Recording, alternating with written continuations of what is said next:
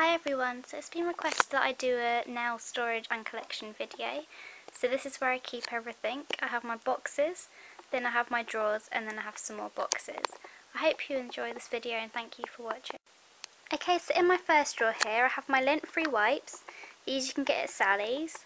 My orange wood sticks. Um, I actually got these at Superdrug. At the back, back there I have some um, cotton buds.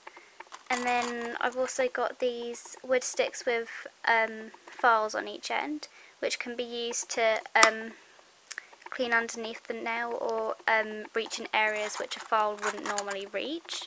So they're very useful. Next I have all my implements. So I've got my dropper for my acrylic liquid. I've got my cuticle pusher. I use this for a lot and I also use it sometimes for scooping glitter. I've also got my tip cutters, some nail, nail clippers, spoon. This is for when I mix my acrylic and my glitters or something like that. I've got tweezers, scissors, um, some more nail clippers and I've also got my cuticle nippers at the back there. And here I have my files. Um, these are in the shape of a boomerang.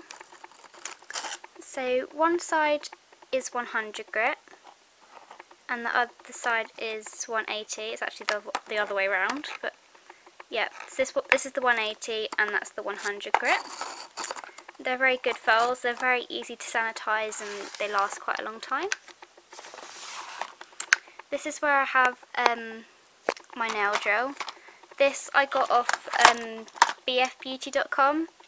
It was around £10, it was really good and it's probably the best investment I've ever made in all my life it's a really good drill, it's really powerful and it folds down a lot of the acrylic quite quickly. Um, this is just the drill bits that it came with and then I've got my sanding bands in here. These are the finer grit ones, these are the medium and these ones are the really coarse ones as you can tell. And then I also have some sanding blocks at the back there. I like to keep those for when um, I remove my acrylic nails and then there's still bits of acrylic on there. So they're useful for that. In this next drawer here I have um, a nail art brush, um, my acrylic brush, my dotting tools, some nail art brushes, um, the first um, acrylic brush that I first started off using when I first started doing acrylic nails. Um, I also like to have a fluff brush for removing bits of excess acrylic and then I've also got two nail brushes as well.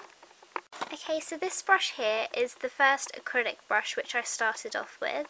I got this back in September and it's beginning to die. Some of the bristles are like coming off as you can see just there. They're like all sticking out. Um, so it's, I've had it since September 09 and this is from Blush Cosmetics. All of these brushes here I got off eBay. And they're a pack of 13 or 15 I can't remember but um, they're my nail art brushes. They're all very good. Um, they were only about three or four pounds. I'll put the seller's name on the video. And then I have this brush which I got off Amazon and it's got a thicker brush on one end and then it's got a dotting tool on the other. Okay, I haven't actually used this brush yet, but um, I bought some more practice fingers off BF Beauty the other day and they sent me a free little nail art brush with them, so I think that's quite nice of them. Okay, so these are my dotting tools. Um, each end has different sizes, so you get 10 different sizes. Um, these are really quite cheap as well. They're about £3 I think. And they're also from the same seller as my um, these nail art brushes. So I'll, as I said, I'll put the um, link to their page on here.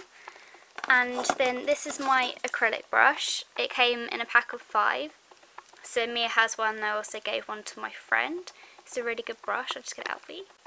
So this is what the brush looks like and then the lid actually becomes the handle So in total, including postage and packaging, it's about £7 for five of these brushes.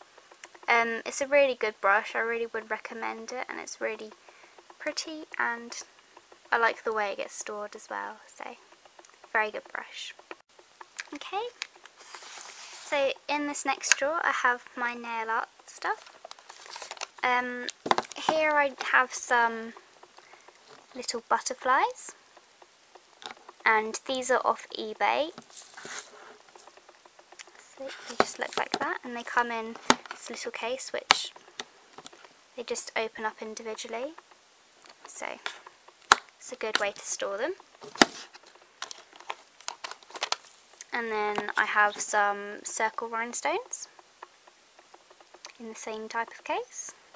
And they come in 12 different colours so they're and then I've got my tinsel glitters. So there's 12 different colours of these and I use these for mixing in my acrylic. So they're very pretty colours. I'm looking forward to using them as I haven't actually used them yet. So that'll be exciting. And then last in this drawer, I have my heart rhinestones, which are in the same colours, I think, as the round rhinestones, but you get 12 different colours, so they were all very cheap. But yeah, they were all under £3, so that was very good. Okay, in this next drawer, I have my practice fingers, and so I've got two different types of these. Um, this one is a glue-on practice finger. As you can see, it's got um, the little tip bit here on the end, and that's where you can glue on your um, false nail tip. And these ones are the push-in ones. As you can see, there's a little well in there where you can actually push the tip on, up into it. I prefer to use the glue-on ones as when you're filing and stuff, um, the push and tips seem to come out, so they're very frustrating. So I find it easy to stick it actually onto the finger. And they came in a pack of four off bfbeauty.com. Um, here I have my Fimo fruits. I'll just open them up for you. So this is what they look like. So I've got some, I don't know what they are, flowers, apples, watermelons, another type of fruit, um, kiwis, lemons, limes, oranges and strawberries I think but I'm not too sure what these two are. So if anybody knows then let me know. Be useful to you know. Okay um so these came with a little chopping board like this. It's a really thin blade and a bit of wood I found it really hard to chop the canes using this as this is really flimsy and it's also really thin so I was really worried about cutting myself so I actually went to Wilkinson's and bought a craft knife. This is about £2 and it comes with lots of different angled blades. So you can choose the um, angled blade which suits you best for um, chopping up your canes. It's quite fiddly but um, they look really good on so it's worth it.